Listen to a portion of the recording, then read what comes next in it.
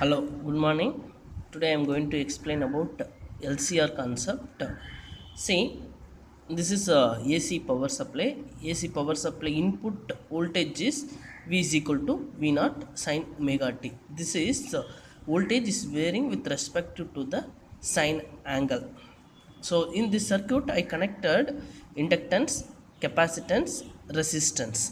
So L is called inductance, C is called capacitance, R is called resistance.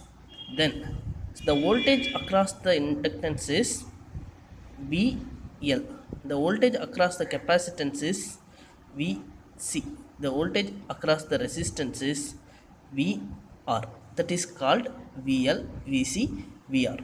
The resistance of inductance is called XL. That is called uh, inductive reactance. The resistance of capacitance is XC. That is called capacitive reactance.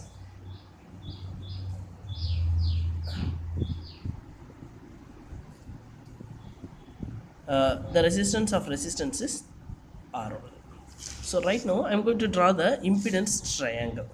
So out of these three, L and R is a 90 degree phase difference and R C is the 90 degree phase difference. L and R voltage leads 90 degree. L R and C voltage lags 90 degree. So L and C is a phase difference is 180 degree. So we can draw like this type of thing. It is a resistance, inductance, voltage of resistance VR, voltage of inductance VL. So voltage of uh, capacitance is VC. Already I told you L and R is a 90 degree phase difference. R and C is a 90 degree phase difference. And L to C is a 180 degree phase difference. Okay. So if example VL is greater than VC means the triangle will come above it's opposite way vc is greater than vl the triangle will come downwards. Okay. So we'll see here. It's right now i'm taken vl is greater than vc triangle is came like this. So this is called phase angle. That is called phase difference also. So vl vl according to the vector algebra vl is uh, subtraction of vc this is equal and opposite.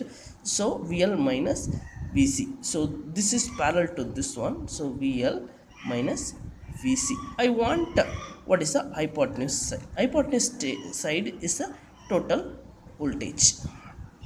So voltage total is a hypotenuse side. I'm going to apply the pythagoras theorem. So v square is equal to vr square. It's like a triangle. Triangle. This side square plus this side square is equal to squaring of this side so vl v v total square is equal to vr square plus vl minus it's a difference not a minus vc whole square.